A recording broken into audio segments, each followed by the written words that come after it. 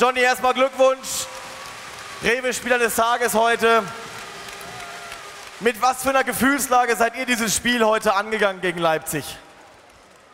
Ja, diese Riesenenttäuschung von dem Spiel äh, gegen Melsung ist äh, ein bisschen abgeschwächt. Ähm, trotzdem äh, immer noch eine, natürlich eine kleine Enttäuschung da. Ähm, wir wissen aber trotzdem, dass wir es auch selber verbockt haben. Das macht es vielleicht auf der einen Seite bitter, aber vielleicht auf der anderen Seite auch ein bisschen einfacher. Und wir wollten heute einfach nochmal einen guten Abschluss haben. Und vor so einer Kulisse äh, ja, wirklich Respekt auch an alle, die heute nochmal hierher gekommen sind und ein herzliches Dankeschön von der Mannschaft. Ähm, nochmal einen guten Abschluss für alle haben. Nach dem letzten Spieltag heute ziehen wir natürlich auch ein Saisonfazit. Klar, man ist ein bisschen enttäuscht, weil es mit der Meisterschaft am Ende nicht gereicht hat, aber trotzdem historischer Erfolg, der Pokal endlich in Mannheim. Äh, ja, muss man sich das jetzt auch so ein bisschen wieder ins Gedächtnis rufen, dass man sagt, hey, es war eigentlich eine geile Saison? Ja, im Moment überwiegt äh, trotzdem noch die Enttäuschung.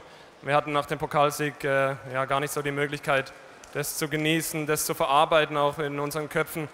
Und dafür können wir jetzt hoffentlich den Sommer nutzen. Dankeschön, Patrick. Für euch ist ja nur Kurzpause. Ihr geht direkt zur Nationalmannschaft nächste Woche. Unser Spieler des Tages präsentiert von Rewe die 24, Patrick